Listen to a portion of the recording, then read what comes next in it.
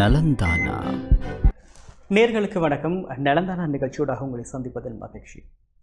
இன்றைய நாளில் நாங்கள் நலந்தானா நிகழ்ச்சியில் நீரிழிவு நோயும் அதனால் கர்ப்பவதிகளுக்கு ஏற்படுகின்ற பாதிப்புகளும் தொடர்பாக நாங்கள் பார்க்க போகின்றோம். இன்றைய நாளில் நாங்கள் இந்த நலந்தானா நிகழ்ச்சியில் எமது கலிகத்துக்கு யாழ்ப்பாண போதனா வைத்தியசாலையினுடைய மகப்பேற்று வைத்திய நிபுணர் டாக்டர் ஆனா ஸ்ரீதரன் வருகை தந்திருக்கின்றார்.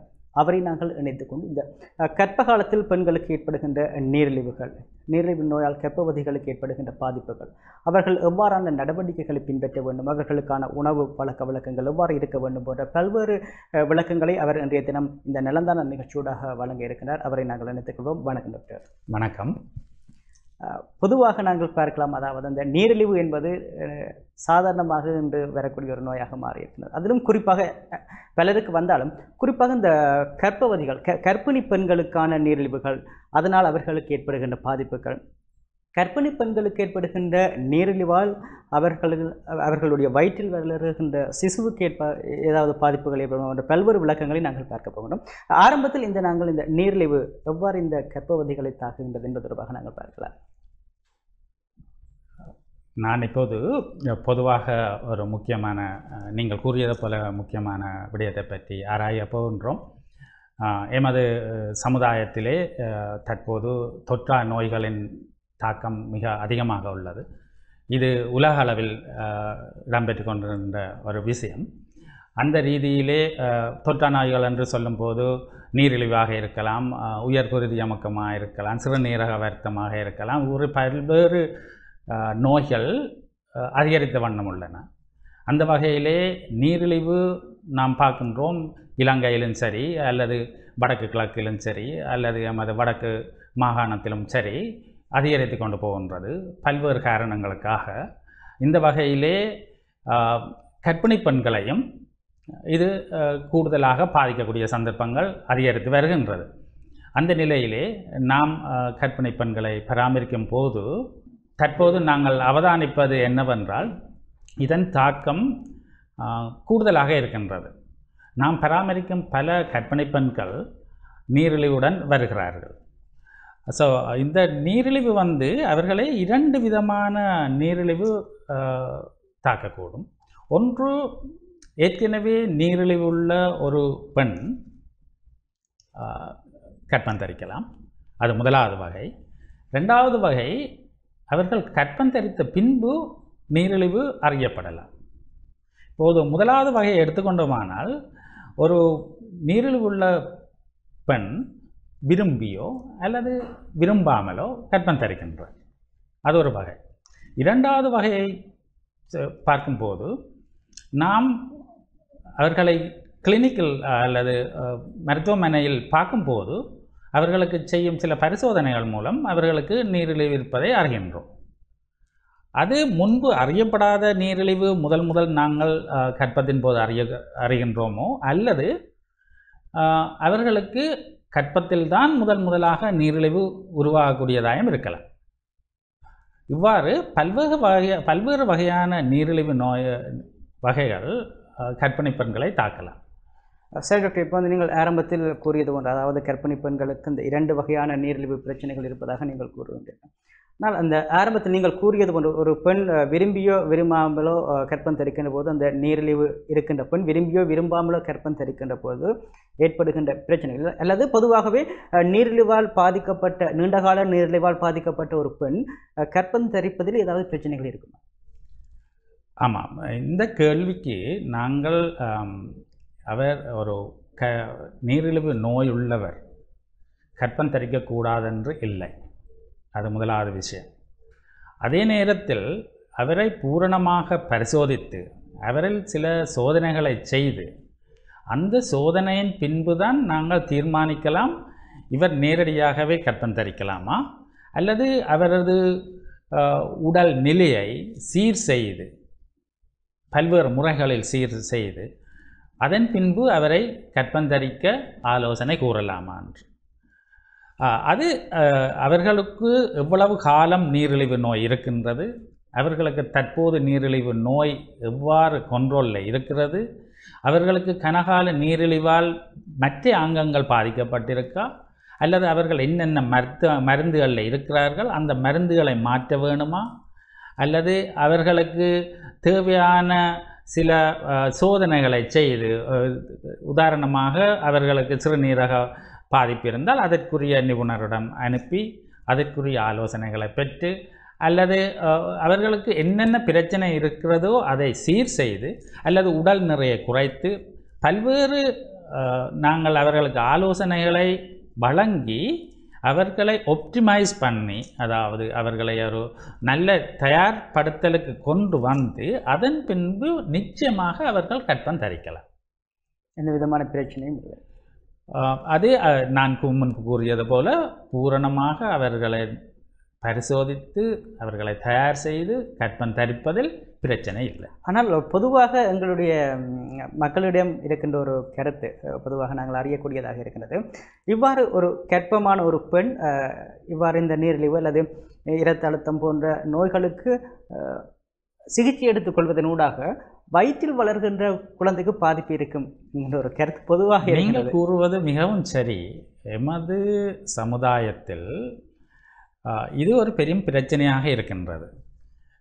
இதனால் என்ன நடக்கிறது என்றால் ஏற்கனவே நல்ல மருத்துவ ஆலோசனையில் இருப்பவர்கள் கூட கற்பம் தரித்த பின்பு அந்த மருந்துகளை எடுக்காம விடுகிறார்கள். எந்த ஆலோசனையும் இல்லாது மருந்துகளை பாவிக்காம விடுகிறார்கள். இதனால் அவர்களுக்கும் அவர்களுடைய சிசுவுக்கும் பிரச்சனைகள் அதிகரிப்புமே ஒழிய குறைகிறதுக்குரிய சந்தர்ப்பங்கள் குறைவு. ஆகவே நாம் அவர்களுக்கு கூறும் அறிவுரை என்னவென்றால் அவர்கள் தகுந்த ஆலோசனைகளை பெற்று மருத்துவரின் ஆலோசனைக்கு அமைய மருந்துகளை மாற்றலாம் அல்லது மருந்துக்குரிய டோஸை குறைக்கலாம் அல்லது கூட்டலாம் அல்லது சிறந்த கண்காணிப்புக்கு கீழே அவர்கள் நிச்சயமாக ஒரு ஆரோக்கியமான பிள்ளையை பெற்றெடுக்க முடியும்.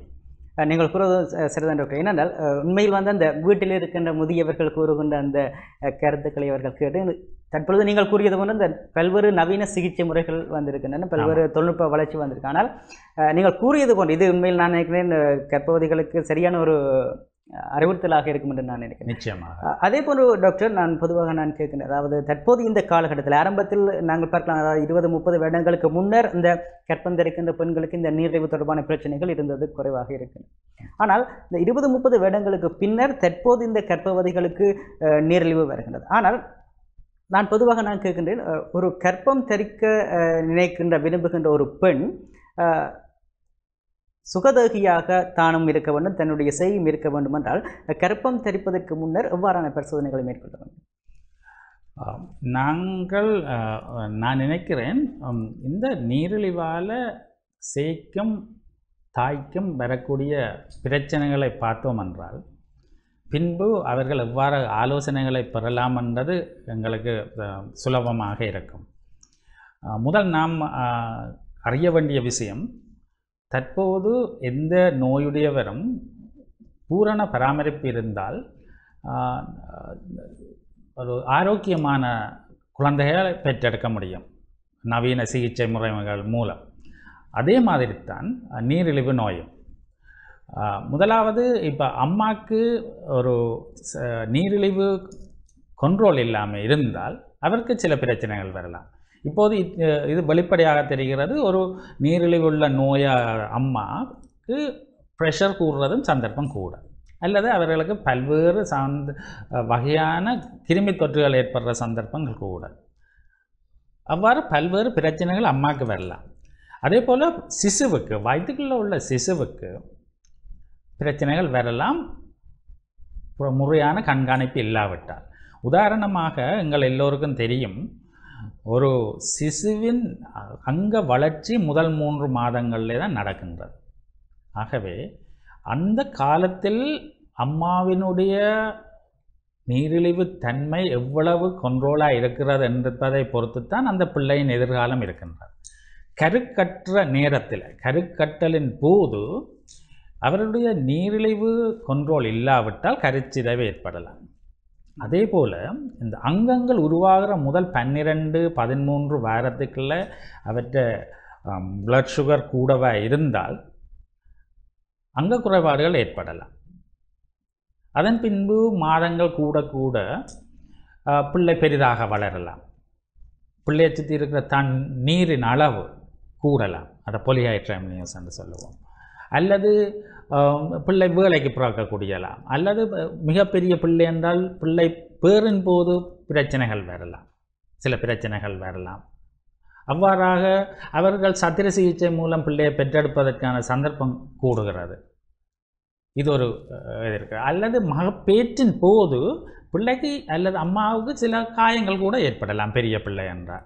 அல்லது பிள்ளை கிடைத்தவுடன் பிள்ளை பிறந்தவுடன் பார்த்தோமானால் இப்படியான பிள்ளைகளுக்கு ரத்தத்தில் இரத்தத்தில் சீனின்ற அளவு குளுக்கோஸின் அளவு குறைகிறதுக்கு சந்தர்ப்பம் இருக்கிறது. ஏனென்றால் இந்த பிள்ளை அம்மாவின் வயிற்றில் இருக்கும்போது கூடுதலான குளுக்கோஸ் லெவலுக்கு பழக்கப்பட்ட பிள்ளை. பிள்ளை பிறந்தவுடன் அந்த பிள்ளைன்ற சதையின் அமைப்பாலையும் கூட இன்சுலின் சுரக்கிறதாலும் அந்த பிள்ளைக்கு குளுக்கோஸின் அளவு குறைகிறதுக்குரிய சந்தர்ப்பம் தான் இருக்கிறது. ஆகவே நாங்கள் இப்படியான பெற்றோருக்கு சொல்கிறது கூடுதலாக தாய்ப்பால் ஊட்டுங்கள் அது அதை விட என்ன கன பிரச்சனைகள் வரலாம். பின்பு இப்படி எடுத்துக்கொள்வோம். அவர்கள் வளர்ந்து வருகிறார்கள்.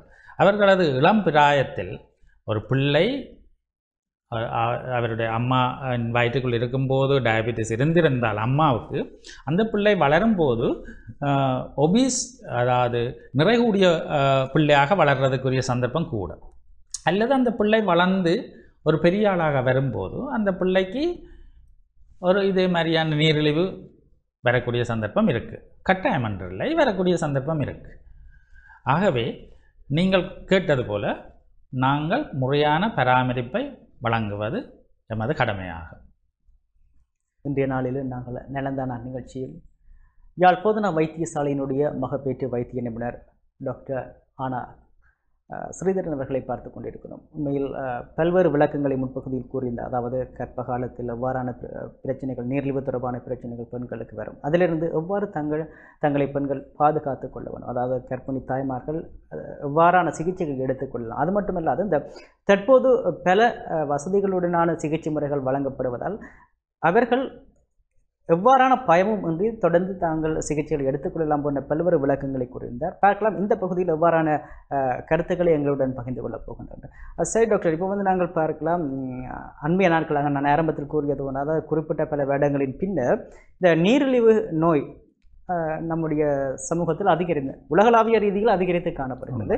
ஆனால் தற்போது அது நம்முடைய நாட்டிலும் அதிகமாக இருப்பதை நம்மால் காணக்கூடியதாக இருக்கிறது. இதற்கான காரணம் என்ன? ஆமாம். நீரிழிவு நோய் உலக அளவில் அதிகரிக்கின்றது உண்மை. இது ரெண்டு காரணமாக இருக்கலாம். முன்பை விட தற்போது கண்டுபிடிக்கின்ற அளவு கூடிக்கொண்டு போகலாம். அல்லது உண்மையாகவே நீரிழிவின் தாக்கம் கூடிக்கொண்டு போகின்றது. இரண்டு விதமாக கூடிக்கொண்டு போகின்றது நம்ம சமுதாயத்திலே. பல்வேறு காரணங்களை கூறலாம். உதாரணத்துக்கு பார்த்தோம் என்றால் எமது வாழ்க்கை முறை வாழ்க்கை முறை எமது செடன்டரி லைஃப் என்று சொல்கிறது எக்ஸசைஸ் மிகவும் குறைவாக இருக்கின்றது எமது வாழ்க்கை முறையில். முன்பு எமது பழைய மு- முன்னோரை பார்த்தோம் என்றால் அவர்கள் தமது நாடார்ந்த கடமைகளை செய்யும் போதே அவர்களது உடல் உழைப்பு கூடுதலாக காலையில் நித்திரையில் எழும்பியது முதல் கிணற்றில் தண்ணீர் அள்ளுவது முதல் வீடு பெருக்குவது முதல் தமக்கு தேவையான அரிசியை அல்லது நெல்லை இடித்தல் அல்லது போதுமான அளவு சைக்கிள் ஓடினார்கள். தற்போது பார்த்தோம் என்றால் இவை எல்லாமே இயந்திரமயமாகிவிட்டது. காலை எழுந்தவுடன் போய் டப்பை திறக்கிறார்கள் தண்ணி வருகிறது. மொப்பரை பிடிக்கிறார்கள் வீடு பெ- பெருக்க தேவையில்லை. அல்லது சைக்கிள் என்பதை இப்போ எமது பகுதிகளில் காண முடிவதில்லை. இது வந்து மோட்டார் பைக்காக மாறிவிட்டது. ஸோ இவன் அம்மி அரைத்தல் கூட இல்லாமல் போய் கிரைண்டராக மாறிவிட்டது. இவ்வாறு அவர்களுடைய எக்ஸசைஸ் அவர்கள் செய்யும் வேலை குறைந்து விட்டது மறுபுறம் பார்த்தோம் என்றால் அவர்களுடைய உணவு பழக்கமும் மாறிவிட்டது. எமது முன்னோர்களுடைய உணவு பழக்கம் பார்த்தோமென்றால் மிகவும் ஒரு சீரான இயற்கையான உணவுகளை உண்டார்கள். இப்போது நாம் பார்க்கும்போது நாம் உண்ணும் உணவுகள் பெரும்பாலான உணவுகள் வந்து டயபிட்டோஜெனிக் என்று சொல்கிறது நீரிழிவை உருவாக்கக்கூடிய சாப்பாட்டு வகைகளைத்தான் நாங்கள் உண்கின்றோம். அதோடு இந்த உணவு பழக்க வழக்கத்தாலும் எமது உடற்பயிற்சியின்மையாலும் பலர் உடற்பருமன் உள்ளவர்களாக மாறுகின்றார்கள். ஆகவே ஒபீஸ் ஒபீசிட்டி உலக அளவில் கூடிக்கொண்டே போகின்றது. இந்த ஒபிசிட்டி வந்து பல்வேறு வருத்தங்களுக்கு ஒரு பிரச்சனையாக இருக்கின்றது. அதே போல் நீரிழிவுக்கும் இது ஒரு முக்கியமான காரணமாக இருக்கின்றது. இவையே தவிர நாங்கள் பார்த்தோமானால் எமது முன்னோர்கள் மிகவும் இளம் வயதிலே மனம் முடிக்கிறார்கள் பிள்ளைகளை பெறுகிறார்கள். இப்போ அவர்கள் ஐந்து ஆறு ஏழு பிள்ளைகளை பெற்றார்கள்.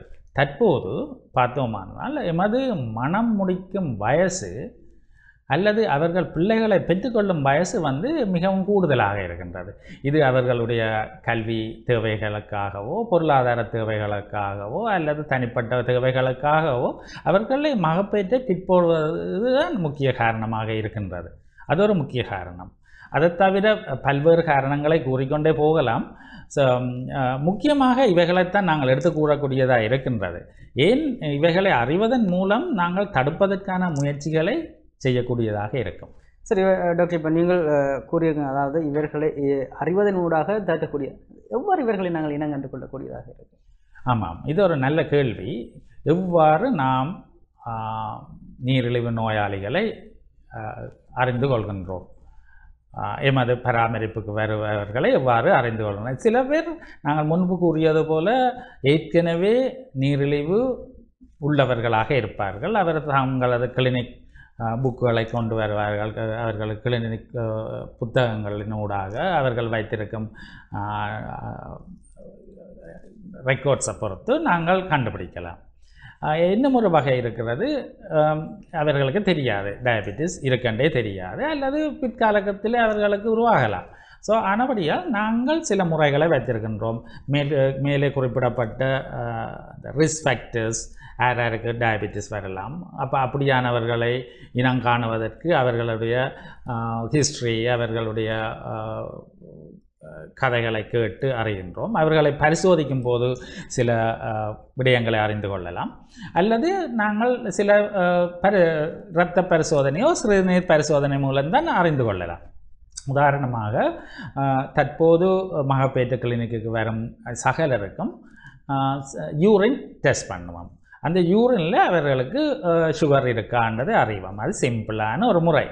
ஆனால் அதால் அதற்கு டயபெட்டிஸ் இருக்கா இல்லையான்றதை நூறு வீதம் சொல்ல முடியாது. அது ஒரு சாதாரண முறை. அதன் பின்பு எல்லோருக்கும் இரத்த பரிசோதனை செய்வோம்.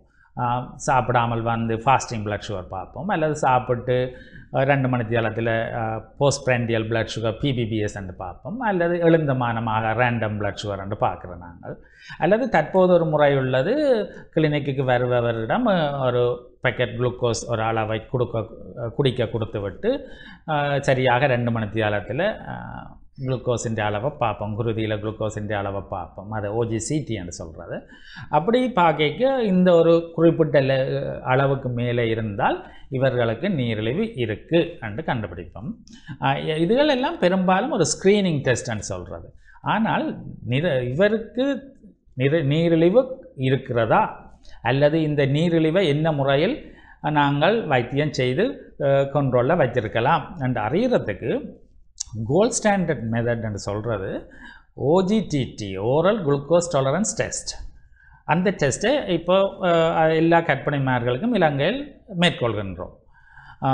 அவர்கள் முதல் முறை வரும்போது கிளினிக்கு புக்கிங் விசிட்டில் செக் பண்ணுவோம். அல்லது இருபத்தி நாலு இருபத்தாறு வாரத்தில் திரும்ப செக் பண்ணுவோம். இந்த முறைகளின் மூலம் இப்போது பெரும்பாலான நீரிழிவு அம்மாமா உடைய அம்மாமார்களை நாங்கள் இனங்காணக்கூடியதாக இருக்கின்றது. நாளில் நாங்கள் நிலந்தான பகுதியில். யாழ் பொதுநல வைத்தியசாலையினுடைய மகப்பேற்று வைத்திய நிபுணர் ஆனால் ஸ்ரீதரன் அவர்களை பார்த்து கொண்டிருக்கிறோம் பல்வேறு விளக்கங்களை எங்களுடன் எங்களை பகிர்ந்து கொண்டிருக்கின்றன. அதாவது கர்ப்ப காலத்தில் ஏற்படுகின்ற நீரிழிவுகள் கற்பம் தரிக்கின்ற போது நீரிழிவு நோயாளி ஒருவர் கற்பம் தரிக்கின்ற போது ஏற்படுகின்ற பிரச்சனைகள் அதன் பின்னர் எடுத்துக்கொள்ள வேண்டிய சிகிச்சை முறைகள். குறிப்பாக அவர்களுக்கு எவ்வாறான வகையில் அந்த நீரிழிவு ஒரு கற்பமான பெண்ணுக்கு தாக்குகிறது அது மட்டுமில்லை அவர்களுக்கான சிகிச்சை முறைகள். எவ்வாறு அவர்கள் ஒரு கர்ப்பவதி தனக்கு நீரிழிவு இருக்கின்றது என்பதை எவ்வாறு இனங்கண்டு கொள்ளலாம் அதற்கான எவ்வாறு சிகிச்சைகள் எடுத்துக்கொள்ளலாம் போன்ற விளக்கங்களை இதுவரை எங்களுடன் பகிர்ந்து கொண்டிருந்தால் பார்க்கலாம் இந்த இறுதி பகுதியில் எவ்வாறான விளக்கங்களை எங்களுடன் பகிர்ந்து கொண்டு போகின்றனர் என்று. சரி டாக்டர் நாங்கள் அந்த முற்பகுதியில் பார்த்திருந்தோம். அதாவது அந்த ஒரு கர்ப்பிணி பெண் எவ்வாறு அவர்களை இனங்கண்டு கொள்ளலாம் என்பது தொடர்பாக நாங்கள் பார்த்திருந்தோம். இதில் அந்த அவ்வாறு இனங்காணப்படுகின்ற ஒரு அஹ், நோய் நீரிழிவு நோயாளியை எவ்வாறு பராமரிக்கலாம்? அதாவது நீங்கள் ஆரம்பத்தில் எவ்வாறு குழந்தை வயிற்றில் இருக்கின்ற போது எவ்வாறு பராமரிப்பது? குழந்தை பிறந்ததன் பின்னர் எவ்வாறு அவரை பராமரிக்கும்? இது ஒரு மிகப்பெரிய கேள்வி. இதுக்கு நான் ரெண்டு விடயங்களை இங்கு வலியுறுத்த விரும்புகின்றேன். ஒன்று நீரிழிவு உள்ள ஒருவருக்கு வைத்தியம் அவர் அவர் கற்பந்தரிக்கும் முன்பே ஆரம்பிக்கப்பட வேண்டும். அதை சொல்கிறது ப்ரீ ப்ரெக்னன்சி அசஸ்மெண்ட் அவர்களை அசஸ் பண்ண வேண்டும் முதலாவது. பின்பு அவர்களுக்கு ஒப்டிமைஸ் பண்ணுறதுன்னு சொல்லுவாங்க. அவர்களை அந்த நிலைக்கு தயார்படுத்த வேண்டும். அவர்களை கவுன்சிலிங் செய்ய வேண்டும். அவர்களுக்கு வரக்கூடிய நன்மை தீமை எவ்வாறு சிகிச்சை முறையை அணுகுவது எவ்வாறு வைத்தியருடன் ஒத்துழைப்பது அதுகளை அவர்களுக்கு கவுன்சிலிங் செய்ய வேண்டும் அதுக்கு முக்கியமான இன்னும் ஒரு விஷயம் கற்பனை பெண்களை எப்போதும் அவருடைய கணவருடன் சேர்த்து பார்க்க வேண்டும். அப்போது அவர்களுடைய கம்ப்ளையன்ஸ் வந்து கூடுதலாக இருக்கும். தேவை ஏற்படின் அவர்களுடைய குடும்பத்தாரையும் அழைத்து கதைக்க வேண்டும். அழைத்து அவர்களுடைய நிலையை வடிவை அசஸ் பண்ணி அவர்களை ஒப்டிமைஸ் பண்ணணும். என்ன செய்கிறது என்றால் இப்போ டயபெட்டிஸ் நீரிழிவு கண்ட்ரோல் இல்லை என்றால் முதல் அவர்களை தற்காலிகமாக கருத்தரிக்க வேண்டாம் என்று கூறி நீரிழிவை மிகவும் கட்டுப்பாட்டுகள் கொண்டு வருவது. மருந்துகளை மாற்றுவது. கற்பத்தை பாதிக்காத மருந்துகளுக்கு மாற்றுவது. தேவை ஏற்படின் இன்சுலின் கூட பாவிக்கலாம். பாவித்து நீரிழிவை கண்ட்ரோலுக்கு கொண்டு வர வேண்டும். அவர்களுக்கு வேறு அங்கங்களில் தாக்கம் இருந்தால் உதாரணமாக பிளட் ப்ரெஷர் உயர்குருதி அமுக்கம் இருந்தால் அதை சீர் செய்ய வேண்டும். அல்லது நீ அந்த நீரிழிவால் அவர்களுடைய கிட்னிஸ் பாதிக்கப்பட்டிருந்தால் அது சம்பந்தமாக வைத்திய நிபுணரை நாடி அவர்களுடைய அட்வைஸோடு அதை சீராக வேண்டும். இவ்வாறு அவர்களை தயார்படுத்த வேண்டும். அல்லது இப்போ ஒரு உடற்பருமன் கூடியவரை முதல் கட்டமாக அவர்களது உடற்பருமனை குறைக்க வேண்டும் கற்பந்தரிப்பதற்கு தரிப்பதற்கு முன்பு. இவ்வாறாக அவர்களை தயார்படுத்தி அவர்களுக்கு போலிக் அசிட் குளிசையை பாவிக்கச் சொல்லி பின்பு அவர்களை கற்பந்தரிக்க சொல்லலாம். பெண் அஹ், அவர்கள் கற்பந்தரித்து கற்பவதியாக வரும்போது அல்லது கற்பவதிக்கு நாங்கள் நீரிழிவை கண்டுபிடிக்கும் போது நாங்கள் கர்ப்பகாலம் முழுவதும் அவர்களுடைய ஒத்துழைப்பிலே அவர்களை பராமரிக்க வேண்டும். தற்போது நாம் எல்லோரும் அறிந்த விஷயம் முன்பு தனி ஒரு வைத்திய நிபுணர் தான் ஒரு வருத்தத்தை பார்ப்பது. தற்போதைய நிலைமை அப்படி அல்ல. உதாரணத்துக்கு நீரிழிவு உள்ள ஒரு கற்பிணியை ஒரு டீமாக மல்டி டிசிப்ளினரி டீம்னு சொல்கிறது எல்லா வைத்திய நிபுணர்களும் சேர்ந்து தான் அவாவை பராமரிக்க வேண்டும் வை மகப்பேற்று வைத்திய நிபுணர் அதற்கு தலைமை தாங்கலாம் நீரிழிவு சம்பந்தமான வைத்திய நிபுணர் அல்லது அவருடைய உணவு முறையை மாற்றி அமைக்கிறது அல்லது அது சம்பந்தமான ஆலோசனைகளை சொல்வதற்கு டயட்டீஷியன் இதிலேயே ஸ்பெஷலாக உள்ளது டயபெட்டிக் நர்ஸ் அல்லது டயபெட்டிக் மிட்வைஃப் அல்லது அவருக்கு கிட்னி வருத்தம் இருந்தால் கிட்னி வருத்தம் சம்பந்தப்பட்ட நிபுணர் அல்லது ஒரு பொது வைத்திய நிபுணர் அவர்களுடைய ஆலோசனைகளின்படி ஒரு ஜாயிண்ட்டாக ஒரு மல்டி டிசிப்ளினரி டீமாகத்தான் இவரை இவர்களை நாங்கள் பராமரிக்கின்றோம். தற்போது இலங்கை அல்லது யாழ்ப்பாணத்தை அல்லது மட்டக்களப்பை எடுத்துக்கொண்டால் இதற்கு போதுமான வசதிகள் இருக்கின்றன. சர்வதேச தரத்துக்கு ஏற்ற வகையில் அவர்களை பராமரிக்கக்கூடிய வைத்திய நிபுணர்கள் தற்போது யாழ்ப்பாணத்தில் இருக்கின்றார்கள். ஆகவே இவர்களுக்கு மிகவும் சிறந்த ஒரு வைத்திய சிகிச்சையை வழங்கக்கூடியதாக இருக்கும். அதற்கு அஹ், நோய நோயாளிகள் அல்லது கற் அவர்களை நோயாளிகள் என்று சொல்வதை விட கற்பனை அம்மாமார்கள் என்று தான் சொல்லலாம். அவர்களுடைய ஒத்துழைப்பு மிகவும் முக்கியம். ஆகவே அவர்களுடைய கற்ப காலத்தில் அவர்களுடைய பிளட் குளுக்கோஸ் லெவலை நாங்கள் நல்ல கண்ட்ரோலில் வச்சிருக்க வேண்டும். அதே நேரத்தில் பிள்ளைகளுக்கு வரக்கூடிய சில பிரச்சனைகளை இனம் காண வேண்டும். அதற்கான சோதனைகளை செய்ய வேண்டும். தேவை ஏற்படின் அந்தந்த நேரங்களுக்குரிய ஸ்கேன் பரிசோதனைகளை செய்ய வேண்டும். அப்படியே நாங்கள் தொடர்ந்து கொண்டு போனால் ஒரு கம்ப்ளிகேஷனும் இல்லாட்டிக்கு நாங்கள் எப்போது டிலே பிள்ளையை பிறப்பிக்க வேண்டதை தீர்மானிப்போம். எப்படி பிறப்பிப்பது? எப்போது பிறப்பிப்பது? எங்கே பிறப்பிப்பது? அதை தீர்மானிக்க வேண்டும் அதை தீர்மானிப்பது அம்மாவினுடையதும் சிசுவினுடையதுமான நிலைகளை பொறுத்து தான் தீர்மானிப்போம் உதாரணமாக சாப்பாட்டு கொண்ட்ரோலில் மிகவும் கொண்ட்ரோலாக இருக்கிற வேறு ஒரு பிரச்சனையும் இல்லாத கற்பனை மற்ற கற்பனைகளைப் போலவே இயற்கையாகவே பிள்ளைகளை மகப்பேற்றை செய்யலாம். அதே நேரத்தில் மிகவும் கம்ப்ளிகேட்டட் பிரச்சனைகள் கூடிய ஒரு அம்மாவை சில வேளைகள் நாங்கள் மிகவும் ஏழியாகவே பிறப்பிக்க வேண்டி வரலாம். எல்லா நீரிழிவு உள்ள அம்மாமாரும் சிசேரியன் சத்திர சிகிச்சை முறை மூலம்தான் பிள்ளைகளை பெற வேண்டும் என்று இல்லை. பெரும்பாலானவர்கள் நோமல் டெலிவரியை செய்ய முடியும்.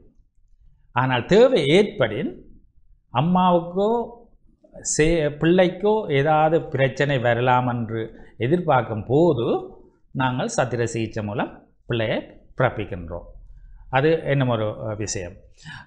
மகப்பேற்றின் போது மகப்பேற்றின் போது அவர்களை விசேடமாக கவனிக்க வேண்டும்.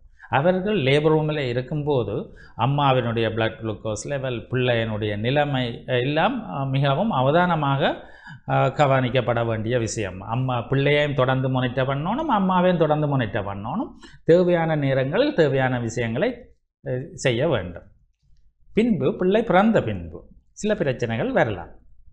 உதாரணத்துக்கு இந்த சிசு அம்மாவின் வயிற்றினுள் இருக்கும்போது மிக உயர்வான குளுக்கோஸ் லெவலுக்கு பழக்கப்பட்ட ஒரு சிசு அம்மாவின் வயிற்றினுள் இருக்கும்போது. ஆகவே இந்த சிசு பிறந்த பின்பு அந்த சிசுவின் பிளட் சுகர் குறையலை அது ஹைப்போகிளைசீமியான்னு சொல்கிறது இது ஒரு முக்கியமான விஷயம். பலர் எண்ணு எண்ணுகிறார்கள் ஒரு நீரிழிவு பெண்ணுடைய பிள்ளை பிறந்தவுடன் அந்த பிள்ளைக்கும் பிளட் சுகர் கூடுமண்டு அது பிள்ளையான ஒரு விஷயம். அந்த பிள்ளைக்கு பிளட் சுகர் குறையிற சந்தர்ப்பம் இருக்குது உடனடியாக. ஆகவே அவர்களுக்கு தாய்ப்பால் ஊட்டல் மிகவும் முக்கியம். எல்லா பிள்ளைகளுக்குமே தாய்ப்பால் ஊட்டல் மிகவும் முக்கியம். அதில் நாங்கள் இன்னும் அழுத்தி கூறுவது என்னென்றால் ஒரு நீரிழிவு நோயுள்ள அம்மா மகப்பேற்றின் பின்பு தனி தாய்ப்பால் ஊட்டலை பழக வேண்டும். அது அம்மாவுக்கும் நல்லது பிள்ளைக்கும் நல்லது. அது ஒரு விஷயம். பிறகு என்ன எடுத்தோம் என்றால் இந்த பிள்ளைகள் வளர்ந்து வரும்போது வளர்ந்து வரும்போது சிலவுகளை அதை அவை இந்த நிறகூடின பிள்ளைகளாக வளர்கிறதுக்குரிய சந்தர்ப்பம் கூட.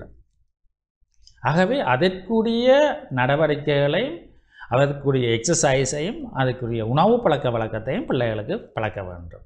இன்னும் ஒன்று எடுத்தோம் என்றால் ஒரு சிசு நீரிழிவு தாய் வயிற்றில் இருக்கும்போது தாயின் வயிற்றில் இருக்கும்போது நீரிழிவு இருந்திருந்தால் அந்த பிள்ளை பிறந்து பெ- ஒரு பெரியவனாக வரும்போது அவருக்கு நீரிழிவு வார சந்தர்ப்பம் இருக்குது ஆகவே அந்த பிள்ளை சிறு வயதில் இருந்தே അതിൻ്റെ வாழ்க்கை முறையை மாற்றி அமைத்து அதுக்கேற்ற மாதிரி செய்து கொண்டு வந்தால் லைஃப் ஸ்டைல் மாடிஃபிகேஷன் செய்து கொண்டு வந்தால் அதிலிருந்து தன்னை பாதுகாத்து கொள்ளலாம் இன்றைய தினமும் நிலந்தான நிகழ்ச்சி நிறைவடைகின்றது இன்றைய தினம் நிலந்தான நிகழ்ச்சியில் கற்பிணி பெண்களும் அவர்களுக்கான நீரிழிவு நோய். அதிலிருந்து எவ்வாறு அவர்கள் தங்களை பாதுகாத்து கொள்ளலாம் போன்ற பல்வேறு விளக்கங்களை வழங்கியிருந்தார்.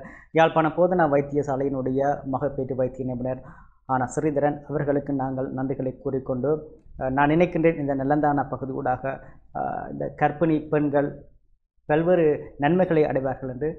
இந்த இடத்தில் நாங்கள் யாழ்ப்பாண நீரிழிவு கழகத்தினருக்கும் நன்றிகளை கூறிக்கொண்டு மற்றொரு நிகழ்ச்சியோடாக இணைந்திருப்போம். வணக்கம். நன்றி. வணக்கம். நலந்தானா